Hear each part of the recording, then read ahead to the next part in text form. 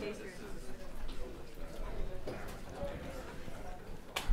but anyway, that's FD. Okay.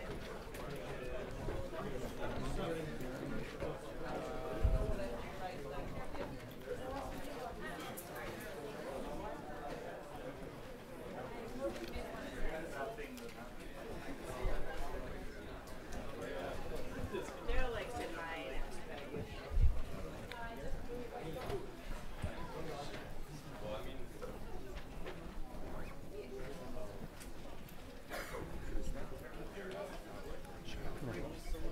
Okay, welcome back. Um, Jeff will continue his lectures on geometric structures on Okay. Um, thanks. The introduction.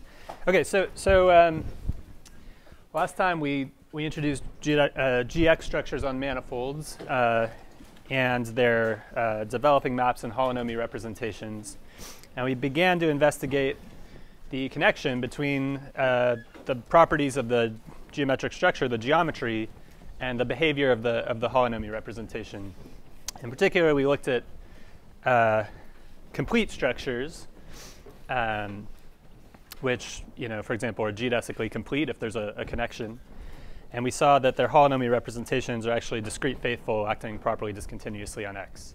So today I want to focus on uh, a different class of, of geometric structures, convex geometric structures. So um, to begin with, uh, I don't I don't want to talk about just closed manifolds anymore. I'd like to like to talk about manifolds with boundaries. So I want to allow uh, my manifold M uh, to have non-empty uh, non-empty boundary. And so, what's a GX structure on a manifold with boundary? Well, let's. I don't want to dwell on it too much, but let's just say What is it? Well, it's a it's a GX structure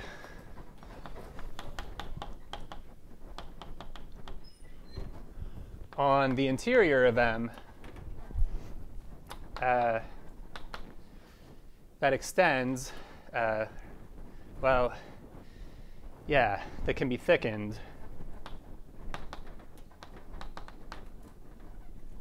So I've got the interior of M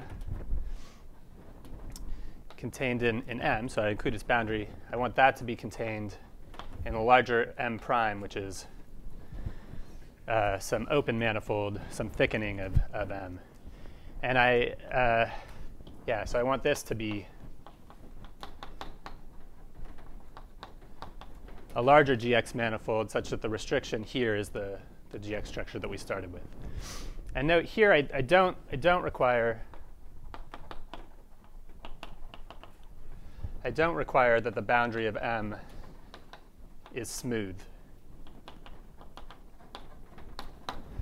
Okay, so in particular, I'd, like to consider geometric structures on M where maybe the boundary um, looks like a, a, pleated surface or something, a bent, a bent surface. Okay, um, great. So let's uh, focus now on hyperbolic geometry for this 45 minutes. Um, so remember that's the group POD1 acting on the d-dimensional hyperbolic space. POD1 is just the the Lie group uh, uh, of isometries of the hyperbolic space. Okay. So a and, and, let me abbreviate instead of writing the group and the space, I'll just write the space. An, an HD manifold M uh, is convex. And here I'm allowing M to have boundary. If uh, any path in M is homotopic to a geodesic segment. and I mean, of course, homotopic REL endpoints, fixing the endpoints. So any path in M can be straightened out to a geodesic still living inside of M. Okay? Um, sort of an obvious uh, property here is that if I take the developing map for such a structure, um, well, that's actually an embedding.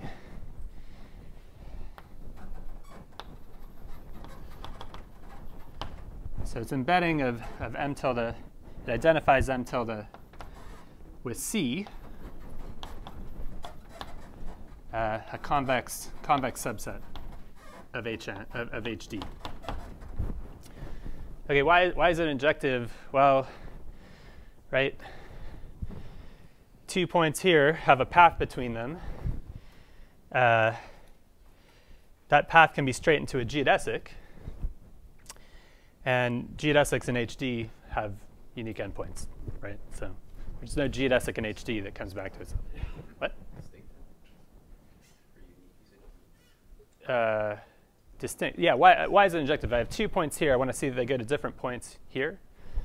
I draw a, path between them. If these are genuinely diff different paths here, that, that path is not homotopic to the trivial path. So it can be straightened, and that, straighten, that straight line develops to a straight line here, and straight lines never come back and cross themselves. Okay, um, great. So uh, another property, since the developing map is an embedding, the holonomy representation, again, as with complete structures,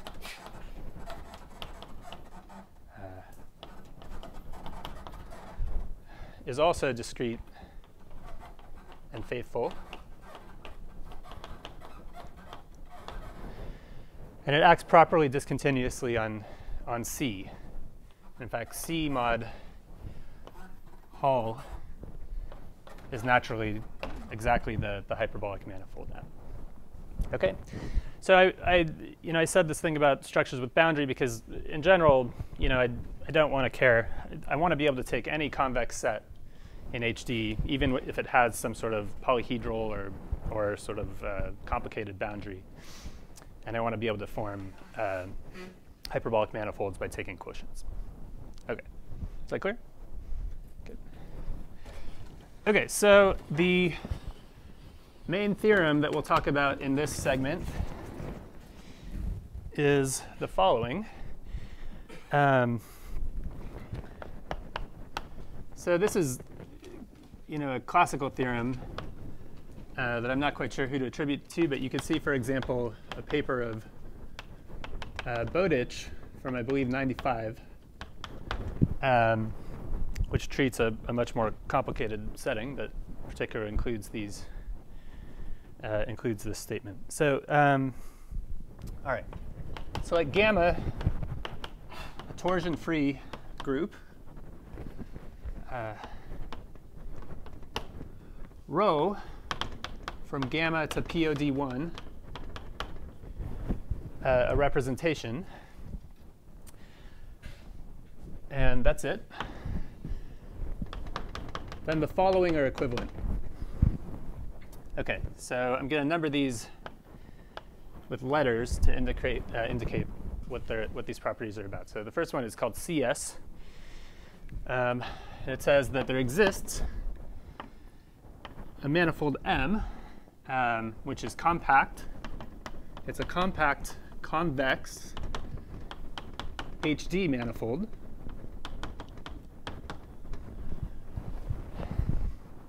Okay. Uh, such that, well, pi 1 of m is isomorphic to gamma, and let's identify it with gamma and rho is the holonomy representation of the hyperbolic structure on F. Okay? So this property is just saying this representation is a holonomy representation of a compact convex hyperbolic manifold. Okay, the next one I'll abbreviate QI. Uh, that says that gamma is finitely generated and rho is a quasi-isometric embedding.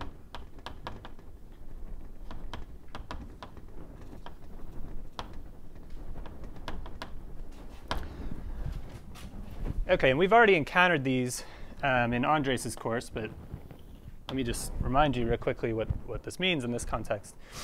Um, this means that uh, the orbit map, maybe I'll write it over here.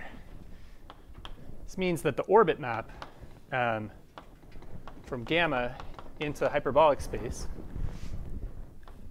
which takes a, a, group element, gamma, and maps it to rho of gamma applied to the base point, means that this is a quasi-isometric embedding.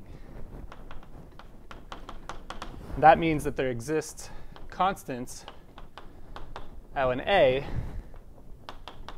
such that um, this map is an isometry up to multiplicative uh, error by L and additive error by A.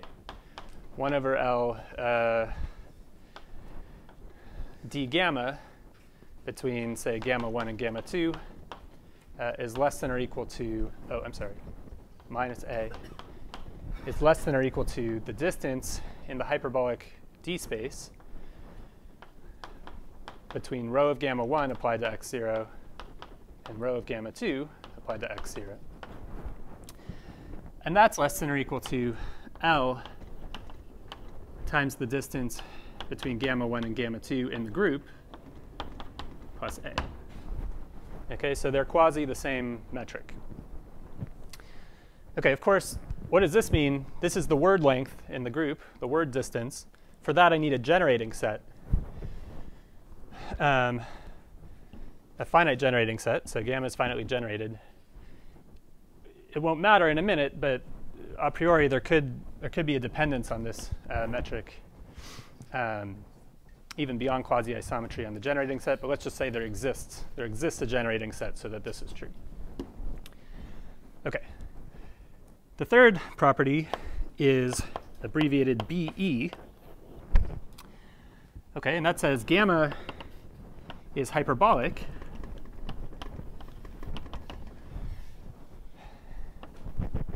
And there exists a boundary embedding, a map C from the Gromov boundary of the group into the visual boundary of the hyperbolic space, uh, which is continuous, uh, continuous, uh, rho, rho equivariant, yeah, rho equivariant.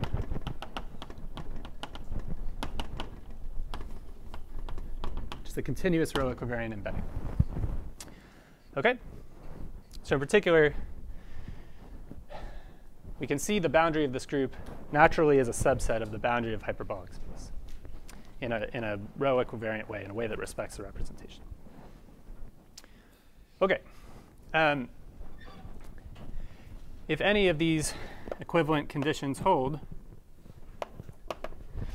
uh,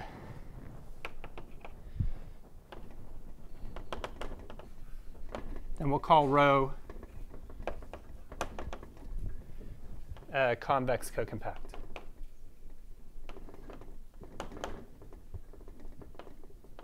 So this is what this is what uh, convex co-compact representation in the PSD1 refers to. Any of these conditions. Okay, questions about the statements? Is it clear? Okay. So examples um, include well so this is, it's nice to have this equivalence because we can actually make lots of examples in different ways. So the first way is just to make a compact convex hyperbolic manifold. And that is you know, actually pretty easy to do. Uh, one way to do it is to take convex pieces of hyperbolic space and glue them together in a convex way. So for example, um, I could take two right-angled, I could, I could take uh, one right-angled hexagon uh, in the hyperbolic plane, uh, and I can choose to double it along uh, three uh, alternating sides. Okay, this is a convex set. It's a convex polygon in the hyperbolic plane. When I double it, I'm gluing a copy of itself to itself. Uh, I'm gluing I'm gluing a copy of it to another copy of it uh, in a convex way because we have right angles here. And what I get is a three-holed sphere. Uh, what I get is a compact, convex, hyperbolic structure on the three-holed sphere, where the boundary is actually uh, totally geodesic, geodesic boundary. Okay, so there, I just made a I just made a compact convex hyperbolic manifold. By this theorem, its holonomy representation has these nice nice properties. Okay, I can also make representations which are which are quasi-isometric embeddings. Um, for example, Schottky groups. So there's an exercise in the problem session which will ask you to prove that the Schottky groups we constructed last time are, are quasi-isometric embeddings. It's very easy to, to see that. Um, okay, and for boundary embedded, uh, the nice one class of nice examples where it's easy to see this are the quasi-Fuchsian surface group representations. Uh, and uh, in this case, let's stick to dimension 3. A quasi-Fuchsian representation is a quasi-conformal deformation of a Fuchsian representation. Fuchsian representations are obviously boundary embedded. Um, and when you deform them by a, by a quasi-conformal homeomorphism, you deform that boundary embedding. So you still see it very concretely. Um, you still see the boundary of the group in the, in the boundary of hyperbolic space. OK, good. So I want to um, prove this, or give you the idea of how this is proved. That'll take most of the time. And it'll give us an excuse to introduce some ideas uh, that are useful.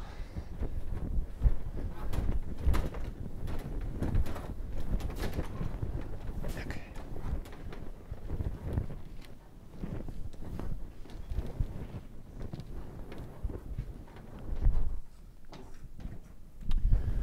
Okay. All right, so let's prove that convex structure implies uh, quasi-isometrically embedded. OK. So I've got M, a compact convex hyperbolic manifold, whose holonomy representation is the representation I'm interested in. So what I do is I take the image of the developing map. Uh, that's a convex. It's actually closed. Closed convex subset of hyperbolic space. Um, and gamma acts on C uh, properly, uh, discontinuously, and co-compactly. OK. So the nice thing, uh, that the important thing here, is that a convex uh, subset of HD. So if I take my convex set and I make it a metric space by just using the hyperbolic metric, uh, this is a geodesic metric space. Right? I can realize the distance between two points uh, with a straight line in the, in the space.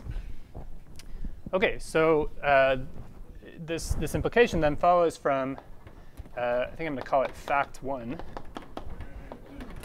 Uh, it's often known as the, the Schwarz-Milnor lemma, that if, uh, let's see,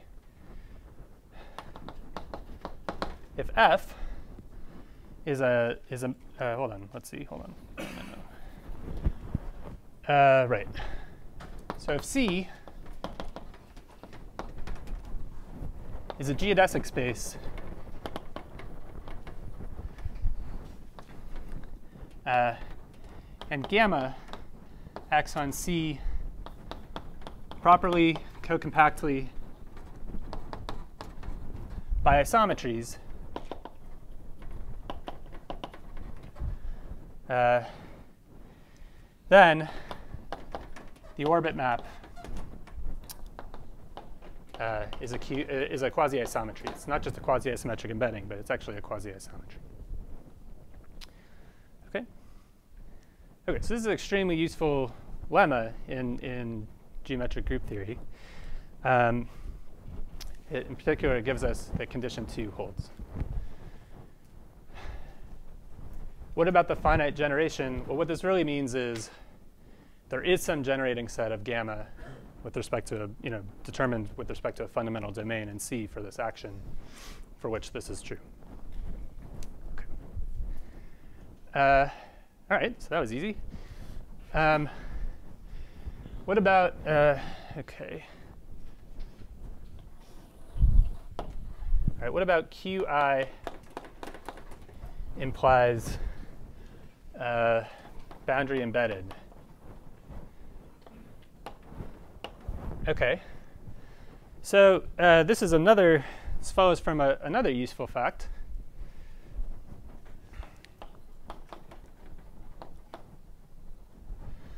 Uh, okay, do I have room to write it here? Let's see.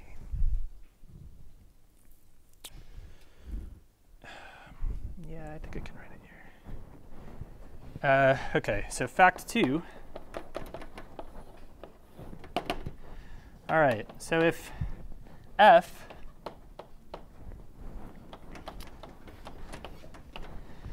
if f is a quasi-isometric embedding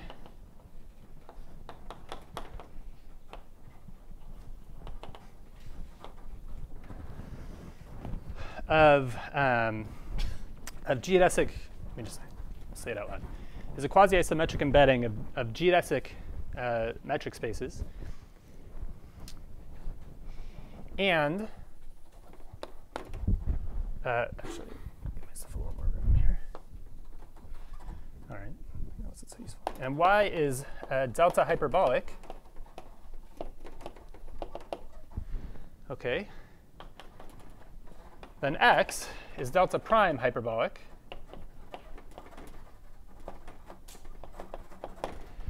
Um, and f extends um,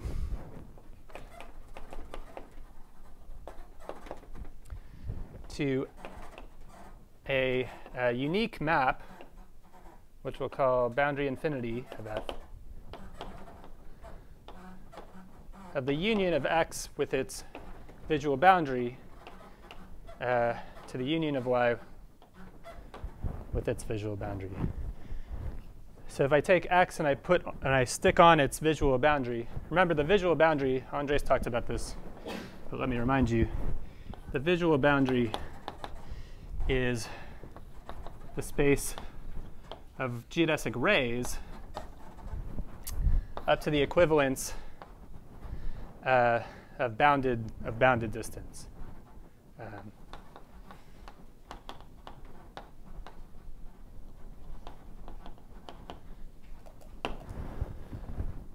okay, and that's a very nice object in a, in a delta hyperbolic uh, metric space. Okay, so yeah. Yeah, okay, so let me say it extends to uh, this and boundary infinity of f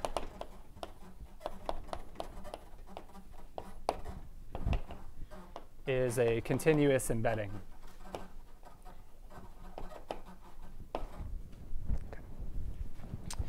And it's uniquely determined by f. So um, the rho equivariance in condition BE comes from that uniqueness. OK. Um, great. And just if you haven't seen this before, probably a lot of you have, but if you haven't seen this before, you know, why should you expect an extension to the boundary well, if you have array in x, so here's, here's x. The outside of, of this picture is its, its boundary, so we can think of adding little endpoints to, to geodesic rays. If I map this over with f to, uh, to y, what's the image of this, this picture? Well, it's some sort of quasi-geodesic, right? So it's a, it's a quasi-geodesic ray. It's, it's an LA quasi-geodesic ray. Um, so that's not, that's not naturally an element of the visual boundary of y. It's not a geodesic ray. However, uh, the Morse lemma says that any quasi-geodesic ray is actually a bounded distance from a unique, uh, unique geodesic ray in y. Okay, so this quasi-geodesic ray actually tracks very close to a geodesic ray. Um, and that gives you the, the, the definition of the boundary map. OK. All right. So uh, that one was also easy. Um, all right. So I want to actually focus on the third one. Um, I'll give you an argument for the, uh, sorry, the implication BE implies CS. I'll give you an argument for this that's maybe slightly different than what the standard argument might be. It's different than the, it is related to, but different, uh, different than one of the arguments that, that Andres mentioned yesterday. Um, oh, no, no, no, I wanted to save this. Let's see.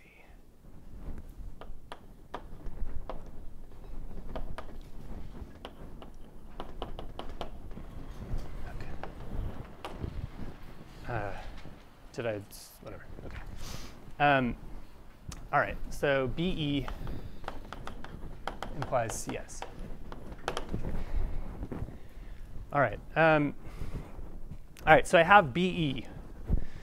I have the gamma is hyperbolic, and I have a, a rho equivariant uh, embedding of its, of its, uh, of its Gromov boundary in the boundary of, of hyperbolic space. So let me denote by lambda the image of this rho equivariant embedding. So it's an invariant, a rho of gamma invariant subset of the boundary of hyperbolic space. All right, so here's a picture. Here's hyperbolic space. And maybe uh, gamma is a surface group, uh, in which case its Gromov boundary is a circle, right? Uh, and maybe rho is a quasi-Fuchsian representation, in which case we'd see uh, some sort of topological invariant circle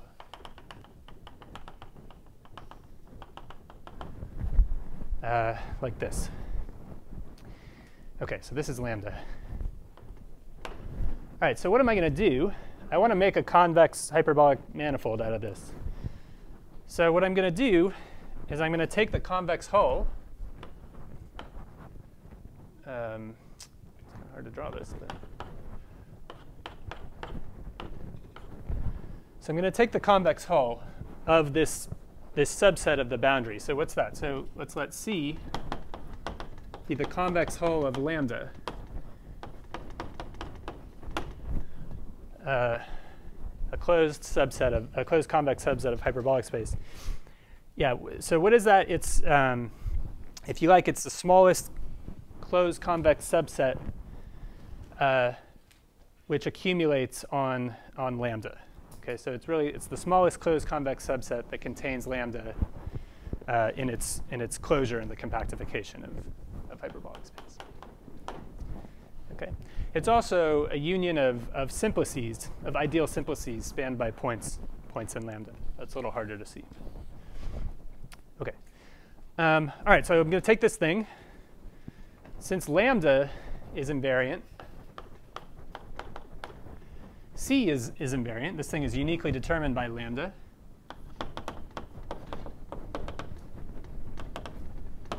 OK. So I'm going to take the quotient uh, C. Let's see. Um, yeah, I guess I should say, I, I need to say that um, in fact, it's yeah, it's it's clear since um, since, an since a boundary embedding exists, that, that rho is discrete and faithful, but so let's ignore that. Um, I'm going to take this quotient, which is naturally a, a convex HD manifold, and I want to show it's compact. Okay?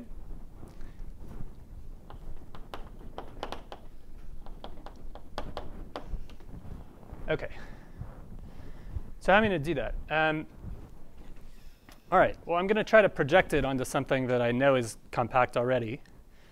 And I'm going to show the fiber of that projection is compact. Okay. So um, what I'm going to do is I'm going to define uh, projection map to the space of triples of lambda.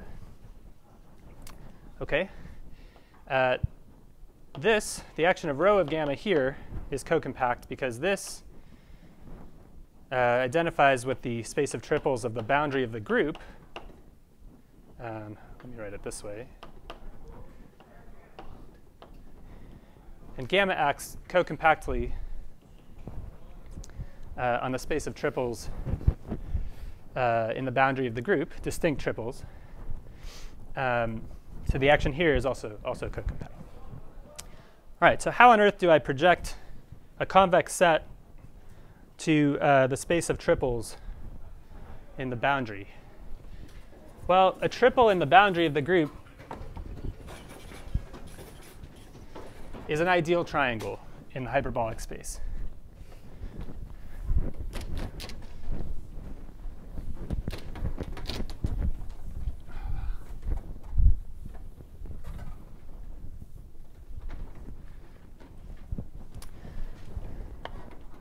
Uh, so if I take the space of distinct, distinct triples in the boundary of hyperbolic space, that's naturally the space of ideal triangles. Okay? So I've got three points in lambda.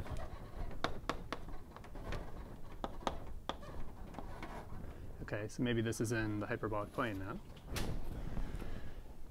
Okay, I can connect them. Their convex hull is an ideal triangle. And I can take the center of this ideal triangle. There's a well-defined midpoint of this triangle, where the, uh, which is equidistant from, from all three edges. And I believe uh, these lengths are always, uh, these lengths are each uh, log of 2 root 2. Uh, I did that last night on a napkin. That could be wrong. Um, OK, so here's the center. It's uniquely determined by the triangle. OK, so what am I going to do? I'm going to define pi of x. So I take a point x in C. I'm going to send it to its the, the center. I'm going to send it to the, the triangle whose center is closest. Uh, yeah, so this, I should say, this is the, this is the center or Bar you know, barycenter, I, I don't know, um, midpoint. Uh, so I'm going to send it to, to the to the, the ideal triangle such that uh, such that C, uh, let me write it this way, such that the distance from x to C um, is minimal. Okay. Uh, you might object, how do you know there's a unique minimum? Of course, there might not be a unique minimum. This is really a coarse map. Really, you're mapping each point to sort of a small collection of, a compact collection of triples in here, but let's not worry about that. Okay, nothing is a problem there. Okay. So that's great. So to finish the proof, so this is you know continuous and uh, you know this is a reasonable a coarsely continuous map. Um, so all we need to do now is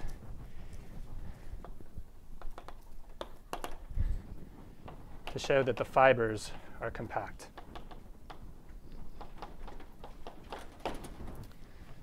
Okay. Oh yeah, and it's it's uh, it's it's equivariant. So I have an yeah.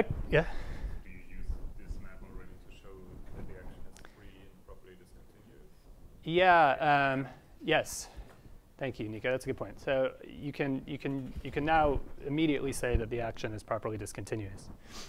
If you can come up with any reasonable projection, even a coarse one, from your um, from your set C to a space where you already know the action is properly discontinuous, then you can conclude that the action on C is properly discontinuous. Yeah. So thanks. This implies that it's proper. And it's, it's well, I guess I forgot to assume that, oh, I did assume that gamma is torsion free, so it's, it's automatically free. Okay. Um, all right, so why is the fiber compact? Okay, so um, suppose not. So suppose we have a sequence in C going to infinity such that uh, pi of xn is the same triple. Okay. In particular, the distance from xn to the center of any triple. So remember, this one is the closest. So the distance to the center of any triple is going to infinity uniformly uniformly over all triples. Okay, great. So I'm going to take a limit. So, so what I'm going to do, I'm going to let gn in POD1 take xn to the base point. Some choice there, a compact choice. Um, and up the subsequence, uh, the image of my limit set, lambda, is going to converge uh, in the Hausdorff sense to some set lambda infinity in the boundary. Okay? So maybe you need a subsequence here, but don't worry about that. And we further refine the subsequence, uh, if necessary. It's not. Uh, so that C converges. So this is in the boundary of HD. This is in HD. To some closed convex subset in hyperbolic space. OK. So I claim that lambda infinity has to have at most two points in it. Why is that? If it had three points, that's a triangle, right? So if there's a triangle here, then there's a triangle here that's very close to that triangle, which would have bounded distance uh, from the base point, x0. So that would mean that, that this is not happening. OK, so this set ha can't have three points. It has to have at most two. Um, and then we're basically done. But, but let me just remark, the set is not empty either. Uh, the, the, the, convex set in the limit, C infinity, is not empty either. So actually, yeah, sorry, we're not, we need to say this. Um, the number of points in this set is, is at most two. Uh, sorry, is at least two. If this had one, oh yeah, let me, let me say, it's clear from uh, that this limiting uh, convex set is the convex hull of the limiting lambdas. So, so since this isn't empty, this has to have more than one point, because the convex hull of one point would be, would be empty. OK, so it's equal to 2. And then uh, I'll leave it as a lemma for you, which I think I forgot to include in the exercises, but feel free to work on this. Um, if a, a, closed set lambda in uh, the boundary of hyperbolic space, um, OK, if lambda is closed in the boundary of hyperbolic space, uh, and gn is a sequence,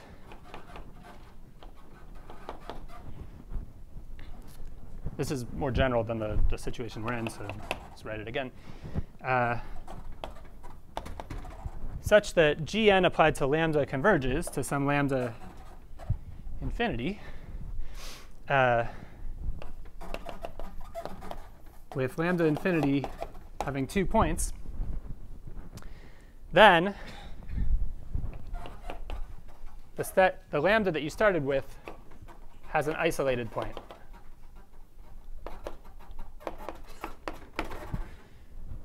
Okay? So if you can take your subset of, of the boundary of hyperbolic space and use, use isometries to, to push it around so that it converges into two points, um, actually, really, you had an isolated point and you were just using a, you know, a loxodromic element to push everything away from that point. OK.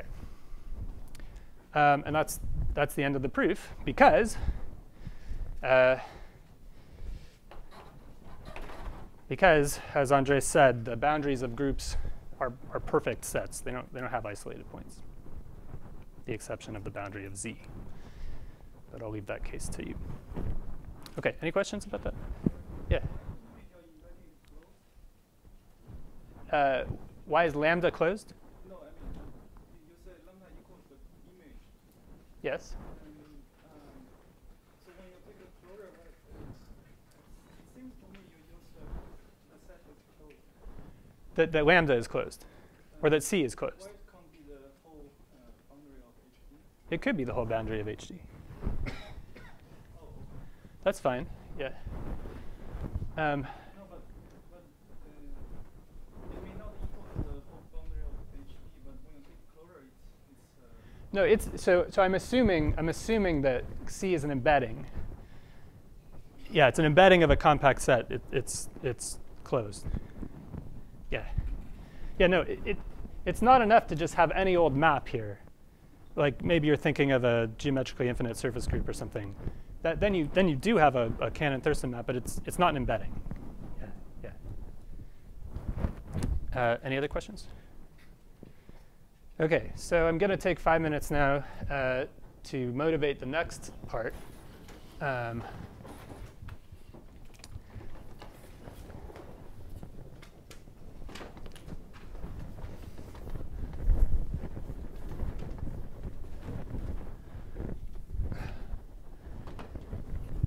okay, so this is great. This is classical. Many of you in this room probably know these things already. Um, and a major theme of GEAR is, you know, how do we do the things we love in hyperbolic space in higher rank groups? Um, so what about higher rank? Um, let me see. I want to say this. So, so you might ask, okay, convex co-compactness is great in POD1. Got these three conditions are equivalent, allow us to make lots of examples. I'll just say vaguely, almost all discrete faithful representations in POD1 are convex co-compact. Um, you know, the vast majority of them are. So the natural thing to do would be to try to come up with a theory of, of holonomy representations of convex structures in higher rank symmetric spaces. So let's let G be a simple uh, simple Lie group of rank uh, bigger than or equal to 2. And let's let X be the Riemannian symmetric space.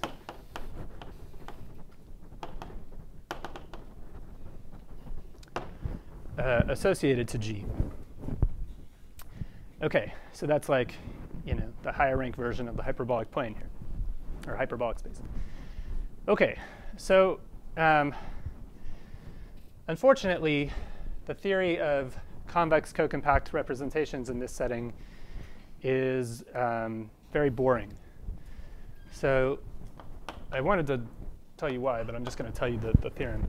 Um, this is due to, to, to Quint and, and Kleiner Leeb in around 2005. And I'm, I'm going to state it in a way that uh, suits the context of this talk rather than the way that they stated it. Um, okay. Suppose M is a compact convex GX manifold. where G and X are, are here. Okay.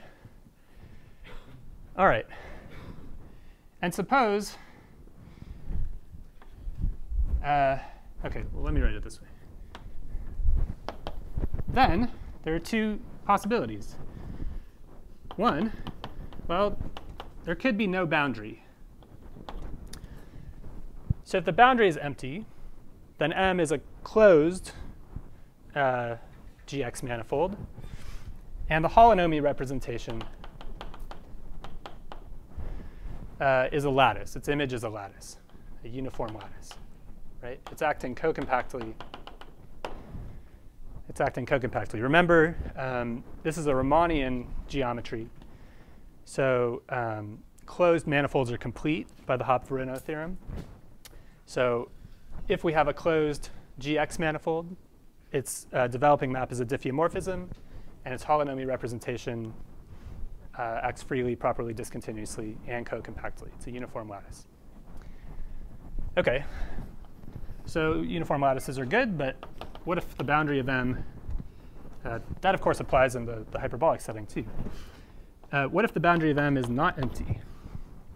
You say, ah, great, I'm going to get quasi-Fuchsian groups and, and Schottky groups and lots of cool things like, like this. And unfortunately, no. If, if the boundary is empty, then the image of the holonomy representation, uh, let me say it this way, uh, is not Zariski dense. Well, OK. So I can avoid telling you what Zariski dense means. Is contained in a Lie group H, a Lie subgroup whose dimension uh, is smaller than the dimension of G. So if you have a convex, compact GX structure modeled on a Riemannian symmetric space of higher rank, and it has boundary, then its holonomy representation lives in a smaller subgroup, which is a product of rank one groups, in fact.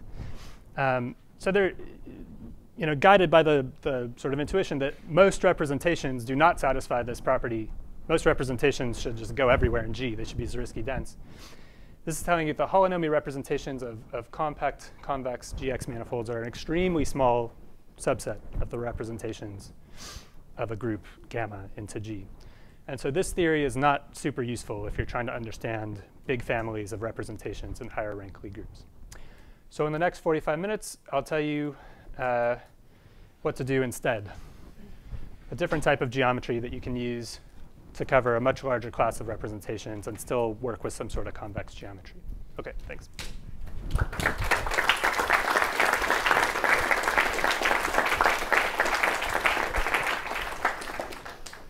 Okay, let's take a 30 minute break. I was almost on time. I'm, I'm proud of myself. Yeah.